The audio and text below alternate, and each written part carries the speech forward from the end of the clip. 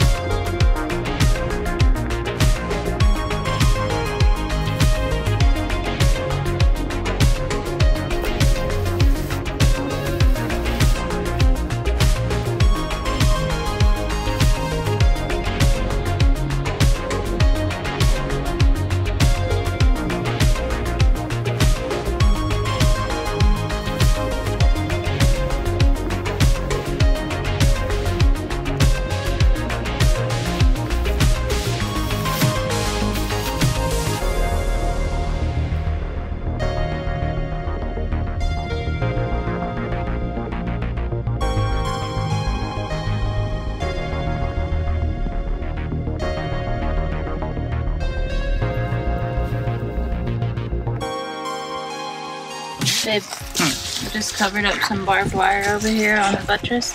I should have said it was a booby trap. Did you record that?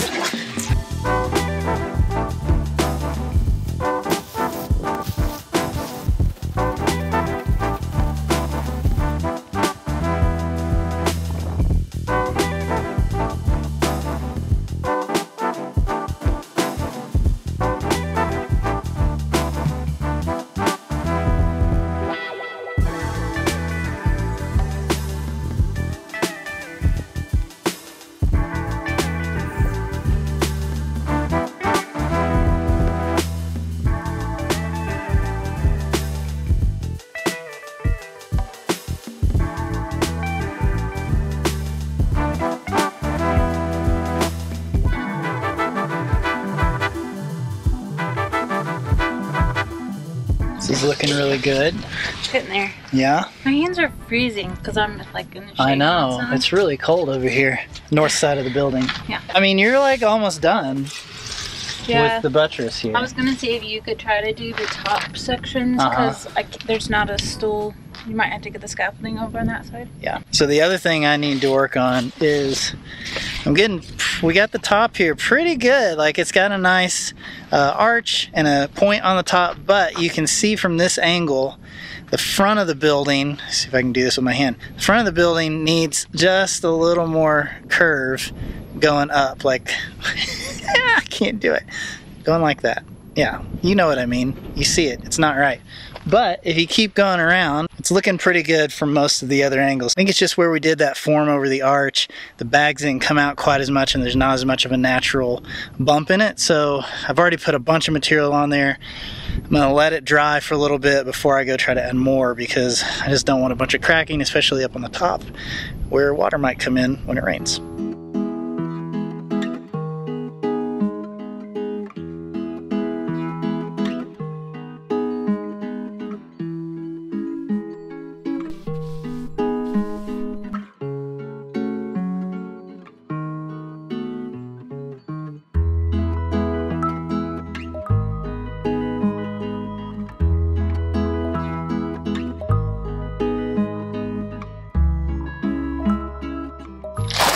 Interrupting this video to show you our homies. Our homies. Yeah, these are the names that are scrolling on the screen, these are some of the people who help support us every month. Yeah, we could not do this channel without them. And so we just always want to take a minute and show their names and say thank you so much. Uh, homies get access to videos early. Mhm. They also get special weekend updates. Mhm. They get access to your recipe book. Mhm. Uh, and then certain levels get other special things like stickers and your names in the credits and all sorts of stuff like that. So listen, if you want to be a homie, I mean, 2024, it's a new year. Yeah, this could be the year that um, you decide to get shiny. Tiny shiny. Okay, guys, that's enough for that. Thank you, homies. Now, let's get back to the dome and see what we can get finished.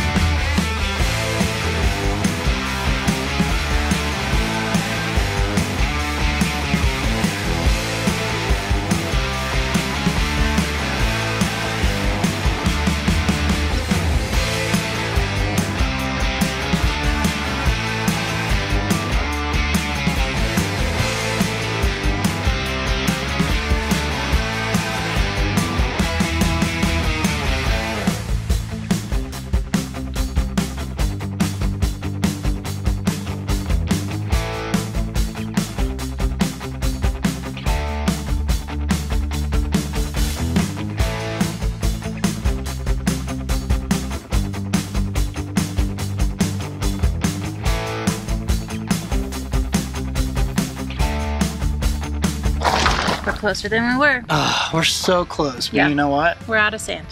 We ran out of, what is it, the concrete sand? Mhm. Coarse concrete sand has been the magic mixing with our Portland cement that mix came from Hayden. And we're really liking, I mean, it's hardly cracking at all. It's going on really good. But we're out. Yep. So I need about an, another half ton, hmm and I think that'll get us to where we can make that arch at the very top exactly how I want it. Yeah. It depends on how you're looking at it and from what angle, because some areas look really nice and some are like flat. So you have like this. Yeah. Yeah, it's and I've put a lot of material up there to even it out. And like like you said, it's it's good about 75% of the angles you look at, but there's Yeah. still a couple angles where it's a little goofy and did we finish the buttresses? Almost. There's Almost. there's a few little spots that I need to fix, but you know, we're out of sand. So Well, guess what guys? You're to get another day of video in this video because we're not done yet. yep. So much video. Okay, well, we'll be back and we're going to get this finished. We're to do it. Yeah. I promise. Then we gotta do it all over again. Let's not talk stucco. about it. Let's talk. That'll be a We won't talk about that. Okay, guys, we're almost done. Hang on.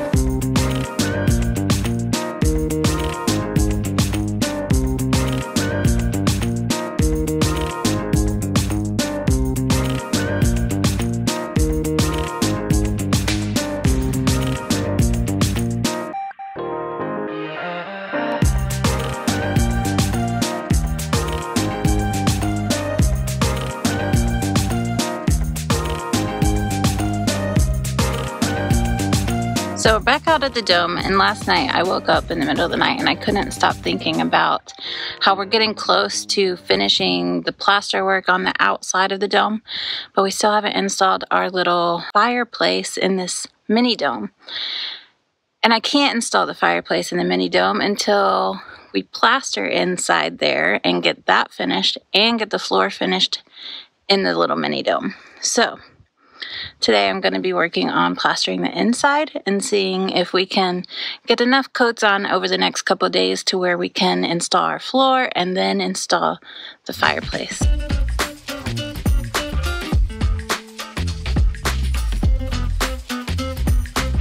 If any of you are considering building a little tiny area for wood stove or something else, consider plastering it as you build it because this is incredibly hard to get to. It comes up like this, it's a very tiny area. So I think I'm gonna save this for Adelaide to do. We're back. We're We're back for another day on the dome. we got to get to stucco because we only have a couple of days. Like we said, the weather, we have a very small window. So today is all about finishing up everything we need to do before we can stucco. Right, we decided after Jonathan was climbing up there that we need to add another step here. Yeah, it's too hard to reach that first rebar. Um, so, and also we probably need to put handholds on. Our area at the top, we added a ton of material up there to kind of even out that whole thing up there. Still need to add a little bit more, I think. And I'm going to need some help eyeballing that because yeah. it's hard to tell when you're up there. But I think other than that, like we're pretty much done with the exterior.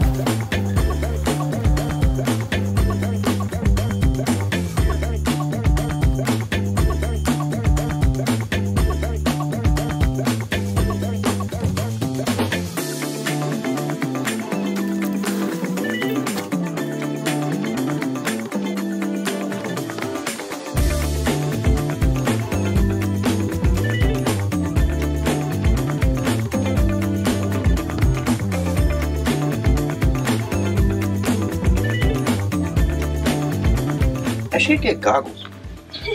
Do you know where goggles are or glasses? I, I will go find some. This is gonna go straight in manifold.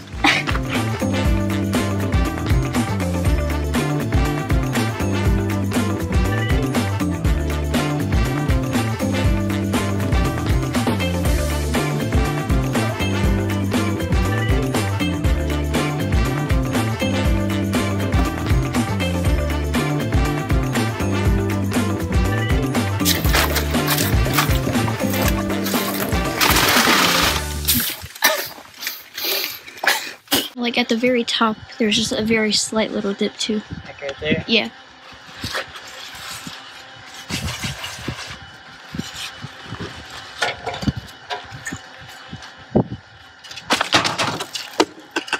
Whoops.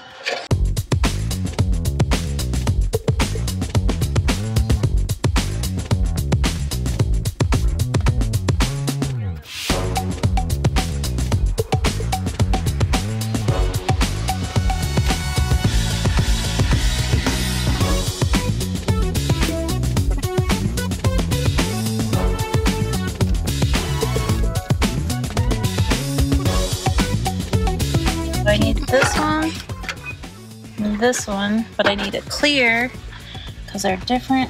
Where's that other one? There's this. Yeah, that'll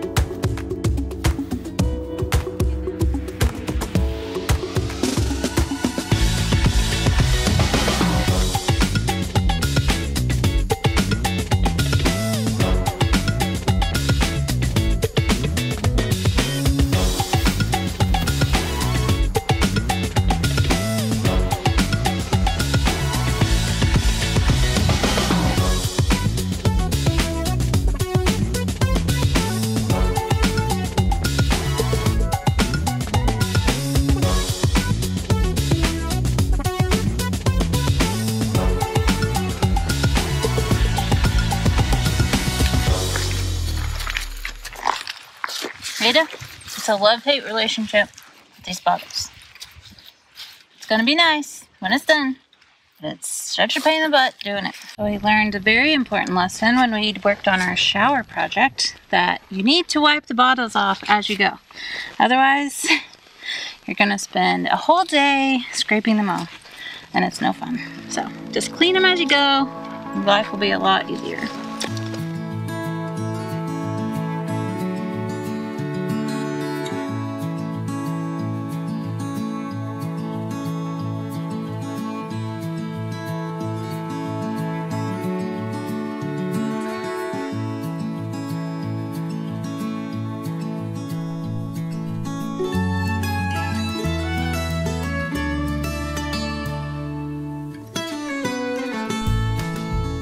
Before we can do the last, we are going to use up this material that we have and chink these red bags as far as we can go. It's not a huge deal if we finish it because we can always do that with the stucco when we have the lath on. But might as well use up this material.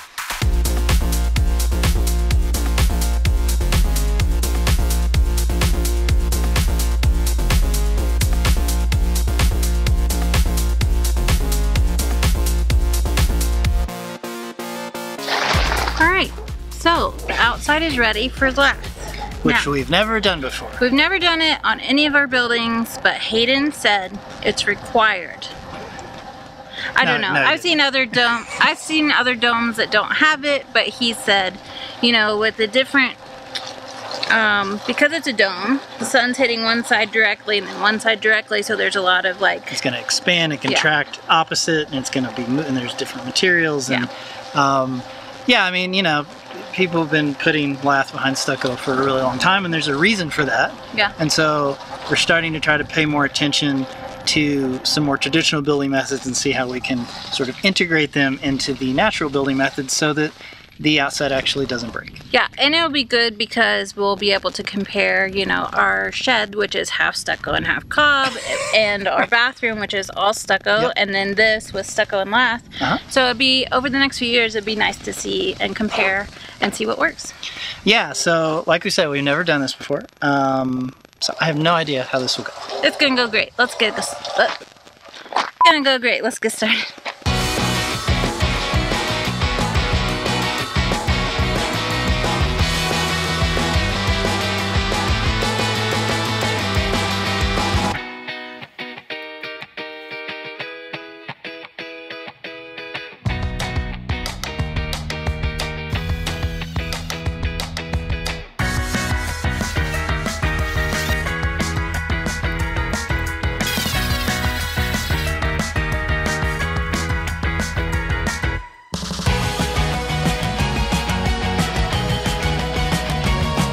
So I've been watching a lot of um, videos of people who do a lot of stucco work and a lot of lath with their stucco work.